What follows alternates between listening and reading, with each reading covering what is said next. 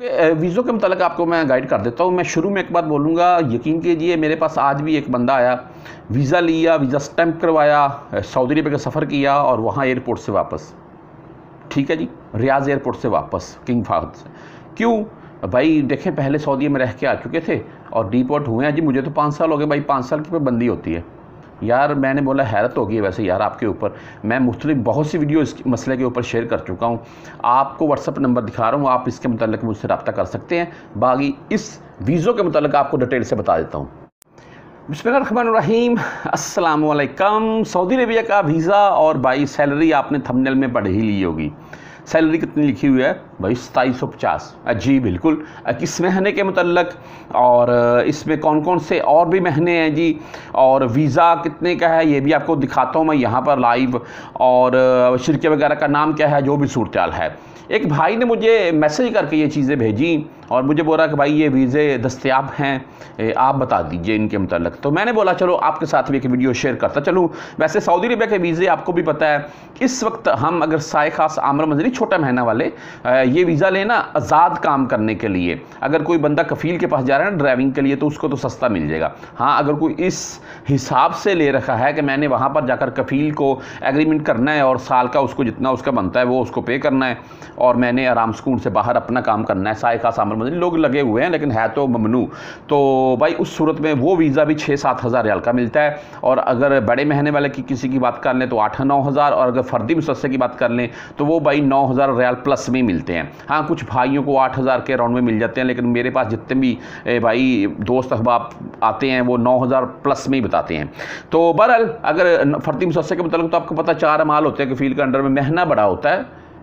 Visa sorry, महना बड़ा होता है, जो इकामे की लगवाई है, वो छोटे महीने जितनी होती है। जैसे साय खास आपको पता है कफ़ील को ले दे करके पाँच छः हज़ार देना होता है साल का तो वो भी आपने पाँच छः हज़ार ही पे करना होता है एक साल का, और महीना लेकिन आपका बड़ा होता है, ये चीज़ है। तो बहरहाल, इस अभी न्यूज़ के मतलब चलते हैं जी, और आपको मैं बता दूँगा कि क्या ऐसे वीज़े आपको परचेज़ करने चाहिए या नहीं करने चाहिए या क्या मामला होते हैं। सबसे पहले देखना ये फौरी वीज़ा, ठीक है? मैं आपको पढ़कर भी सुना देता हूँ साथ में यार। फौरी वीज़ा फौरी ज़रूरत बर सऊदी अरब, फौरी रवानगी, फौरी फौरी फौरी है जी बस। और सऊदी अरब के मशहूर मरूफ शिरका अब्दुल मुहसन अल तमीमी ग्रुप के लिए दर्जा झैल अफराद की फौरी ज़रूरत है, फौरी फौरी। और ग्रेडर ऑपरेटर जी 1500 प्लस ढाई सौ, यानी कि साढ़े सत्रह सौ रियाल सैलरी ग्रेडर ऑपरेटर की। मेरी तो समझ में नहीं आती है। अब ग्रेडर ऑपरेटर के मतलब आपको पता है? ग्रेडर किसे बोलते हैं? वो जो जिसके नीचे लंबा ब्लेड लगा होता है। अब भाई उसकी, मैं बोलता हूँ, चार हज़ार रियल सैलरी है उसकी ग्रेडर ऑपरेटर की। पहली तो बात आपको ये बता दूँ मैं, किसी कंपनी में भी कोई बंदा जाए ना तो 2500 से कम नहीं वो रखते हैं। मैंने खुद देखे हैं बंदे 1750 हज़ार, ये किस, ये कौन सा ग्रेडर ऑपरेटर है? आगे बात कर लेते हैं जी। ट्रेलर ट्रक ड्राइवर ठीक है जी, इनकी भी सत्रह सौ पचास हज़ार सैलरी है। हैरत है मुझे इस चीज़ के ऊपर भी। वैसे ट्रक ट्रेलर ड्राइवर, मेरा खुद का एक भाई लगा हुआ है इस वक्त, एक कंपनी में पच्चीस सौ सैलरी के ऊपर। और साइक शाहना बड़ा में रुखसा है और दस व्हीलर वेंच चला रहा है।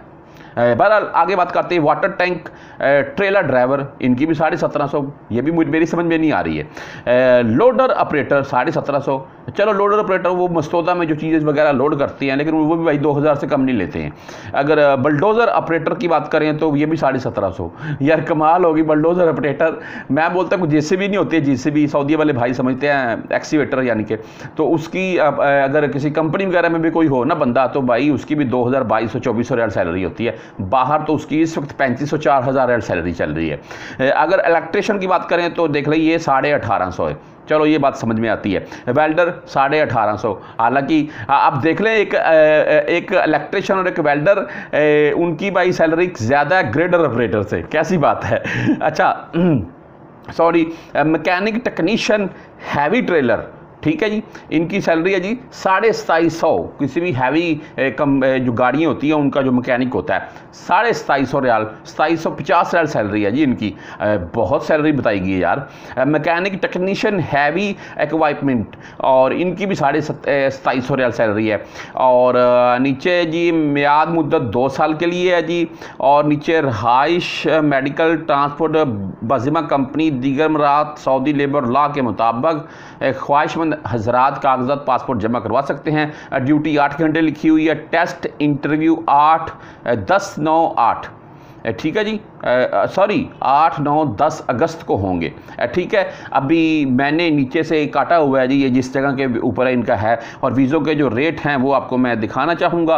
यहाँ पर एक पिक्चर आपका, और आपको दिखा रहा हूँ मैं जिसमें आप वीज़ों के रेट देख सकते हैं। इसमें लिखा हुआ है जी, सबसे पहले ट्रेलर, ट्रक ड्राइवर, पाँच लाख सत्तर का वीज़ा है। साढ़े सत्रह सौ सैलरी है। वाटर टैंक ऑपरेटर है जी, पाँच लाख सत्तर का है जी। रेट फ्रेश लिखा हुआ है। रेट रिटर्न चार लाख आगे लिखा हुआ है।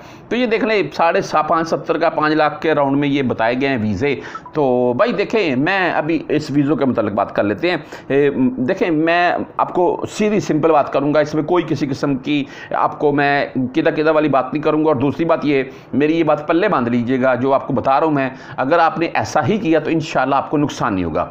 सबसे पहले सबसे पहले आपने वीज़ा भाई लेना है ना जब सऊदी अरेबिया का। अभी मैं बोलता हूँ सैकड़ों के हिसाब से दुनिया, सैकड़ों के यार। मैं बोलता हूँ, हज़ारों के हिसाब से पाकिस्तानी बाहर जा रहे हैं।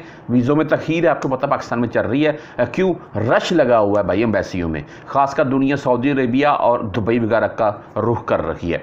अच्छा जी, बात कर लेते हैं इन वीज़ों के मतलब सबसे पहले अगर आपने वीज़ा कभी लेना हो ना तो मेरी बात पल्ले बाँध लीजिएगा। अपने किसी दोस्त, भाई, अहबाब को, अपने मोहल्लेदार को, अपने हमसाए को जो आपका बाहर बैठा हुआ उससे बात करें, उसको बोले कि भाई मुझे ऐसे वीज़ा चाहिए। तेरी मेहरबानी है, मैं तेरे अब्बू को बोलता हूँ, तुम्हारी फैमिली को बोलता हूँ, मेरे, मुझे वीज़ा दे दे, मैं तुमको पैसे दे दूँगा या थोड़े बहुत कुछ रह गए वहाँ पर आकर दे दूँगा। उसकी भी समाजित कर लें, वो बेस्ट है। उसके बाद अगर ऐसा आपका नहीं है कोई तो उसके बाद अपने नज़दीक तरीन कोई ऐसा एजेंट देखें, ऐसी एजेंसी देखें, जो आपके काबिल अतमाद हो। आपको पता होगा ये काबिल अतमाद बंदे हैं, फ्रॉड नहीं करते हैं। मिसाल के तौर पर अगर मेरा कोई ना कोई किसी किस्म का नुकसान होता है तो उस सूरत में ये मुझे पेमेंट रिटर्न कर देंगे। हाँ कुछ कार्ड कार्ड कटैया हो जाता है यार, जैसे कि वीज़ा लगवाई के लिए गया और ये, वो, ऐसे कुछ। चलो, थोड़े बहुत अगर कोई मामला जैसे खर्चा मर्चा हो गया, वो काटे भी जाए, कोई मुश्किल नहीं, लेकिन आपकी रकम आपको सेफली वापस मिल जाए। अगर खुदा न ऐसा मामला हो जाए। पहली तो बात, अगर आप ऐसे वीज़ा लेंगे तो होगा ही नहीं। और तीसरी बात ये है भाई कि देखें आप ऐसे, जैसे कि मैंने आपको बताया, आपने ये इश्तहार पढ़ लिया फेसबुक किसी भी और सोशल मीडिया प्लेटफार्म के ऊपर तो उसके बाद आप वहाँ पर पहुँच गए, इन लोगों ने आपसे इंटरव्यू ले लिया। इंटरव्यू लेने के बाद आपको क्या पता भाई ये बंदे कौन है? इनका ये दफ्तर है जी, बस ठीक है, दफ्तर हमने देखा है जी, ठीक है, दफ्तर आई इस जगह के ऊपर। मिसाल के तौर पर दो सौ बंदा चला गया वहाँ पर। यार, मैं एक बोलता हूँ, मैं एक आपको बात समझा रहा हूँ, क्योंकि हमारे पास ऐसे फ्रॉड वाले केस बहुत आते हैं। दो सौ बंदा चला गया 200 बंदे ने इंटरव्यू दिया, उसमें से 150 बंदा पास कर दिया जिन्होंने। हाँ जी, आप भाई तीस तीस हज़ार जमा करवा दें। किस चीज़ का? भाई तीस तीस हज़ार जमा करवा दें, अपने पासपोर्ट जमा करवाएँ। भाई डेढ़ सौ के हिसाब से तीस हज़ार से ज़रब दे लें और बाद में वो बंदे गायब, दफ्तर भी बंद। कौन सबूत है? भाई इधर दफ्तर था भाई वो तो गए, कौन थे? यार देखें, ऐसे वीज़ा परचेस नहीं करना चाहिए। मेरी तो आपको ये मशवरा है। कोई, जैसा कि मैंने आपको बता दिया, काबिल अतमाद बंदा हो। हाँ अगर आपने कोई ऐसा इश्तहार देखा है, उसके पास जाते हैं, आपको काबिल अतमाद बंदे वो लगते हैं, आप उनको जानते हैं या किसी के तवासल से जाते हैं, वो बंदा गारंटी दे रहा है उनकी तो फिर एक अलग मामला है। वैसे मैं ये बात बोलता हूँ, अगर सोशल मीडिया के ऊपर आप कोई भी किसी किस्म का ऐसा इश्तहार देखते हैं ना तो उसके ऊपर यकीन नहीं करना चाहिए। वो फेक होता है, धोखा होता है।